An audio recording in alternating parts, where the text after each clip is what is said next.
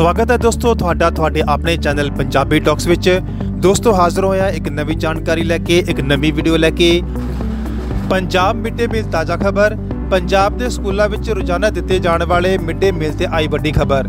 ਦੋਸਤੋ, ਕੀ ਹੈ ਪੂਰੀ ਅਪਡੇਟ ਅਤੇ ਪੰਜਾਬ ਦੇ ਸਕੂਲਾਂ ਵਿੱਚ ਮਿਡ ਡੇ ਮੀਲ ਤੇ ਕਿਹੜੀ ਵੱਡੀ ਖਬਰ ਆਈ ਹੈ ਜਾਣਾਂਗੇ ਪੂਰੀ ਜਾਣਕਾਰੀ ਇਸ ਵੀਡੀਓ ਵਿੱਚ।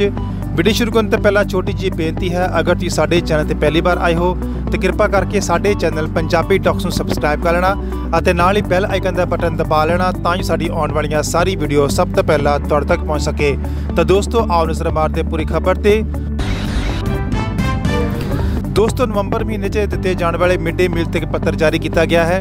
ਪੱਤਰ ਵਿੱਚ ਕੀ ਲਿਖਿਆ ਹੈ ਜਾਣਾਂਗੇ ਪੂਰੀ ਜਾਣਕਾਰੀ ਤੇ ਆਓ ਨਜ਼ਰ ਮਾਰਦੇ ਇਸ ਪੱਤਰ ਤੇ। ਦੋਸਤੋ, ਇਹ ਪੱਤਰ Punjab state mid day meal society ਵੱਲੋਂ ਜਾਰੀ ਕੀਤਾ ਗਿਆ ਹੈ ਅਤੇ ਇਸ ਦਾ ਵਿਸ਼ਾ ਹੈ ਸਕੂਲਾਂ ਵਿੱਚ ਦੁਪਹਿਰ ਦਾ ਭੋਜਨ ਹਫ਼ਤਾਵਾਰੀ ਮੀਨੂ ਅਨੁਸਾਰ ਦੇਣ ਸੰਬੰਧੀ। ਇਸ ਵਿੱਚ ਲਿਖਿਆ ਹੈ, ਦਫ਼ਤਰ ਦੇ ਧਿਆਨ ਵਿੱਚ ਆਇਆ ਹੈ ਕਿ ਸਕੂਲਾਂ ਵਿੱਚ ਦੁਪਹਿਰ ਦਾ ਭੋਜਨ ਮੀਨੂ ਅਨੁਸਾਰ ਨਹੀਂ ਬਣਾਇਆ ਜਾਂਦਾ।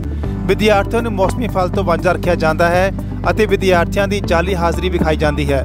ਜਦੋਂ ਕਿ ਸਮੇਂ-ਸਮੇਂ ਤੇ ਵਿਦਿਆਰਥੀਆਂ ਦੀ ਹਾਜ਼ਰੀ ਮੁਤਾਬਕ ਨਿਰਧਾਰਤ ਹਫ਼ਤਾਵਾਰੀ ਮੀਨੂ ਅਨੁਸਾਰ ਮਿਡ ਡੇ ਮੀਲ ਬਣਾਉਣ ਸੰਬੰਧੀ ਹਦਾਇਤਾਂ ਜਾਰੀ ਕੀਤੀਆਂ ਜਾਂਦੀਆਂ ਹਨ।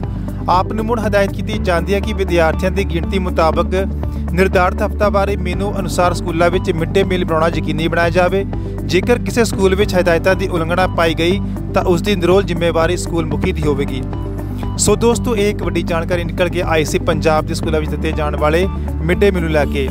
ਪੰਜਾਬ ਸਰਕਾਰ ਵੱਲੋਂ ਇਹ ਕਿਹਾ ਗਿਆ ਹੈ ਕਿ ਪੰਜਾਬ ਦੇ ਸਕੂਲਾਂ ਵਿੱਚ ਜੋ ਮਿਡ ਡੇ ਮੀਲ ਹੈ, ਉਹ ਹਫ਼ਤਾਵਾਰੀ ਜਾਂ ਮੀਨੂ ਅਨੁਸਾਰ ਨਹੀਂ ਦਿੱਤਾ ਜਾਂਦਾ। ਅਤੇ ਪੰਜਾਬ ਸਰਕਾਰ ਵੱਲੋਂ ਖਾਸ ਹਦਾਇਤ ਕੀਤੀ ਜਾਂਦੀ ਹੈ ਕਿ ਜੋ ਮਿਡ ਡੇ ਮੀਲ ਹੈ, ਉਹ ਮੀਨੂ ਅਨੁਸਾਰ ਦਿੱਤਾ ਜਾਵੇ।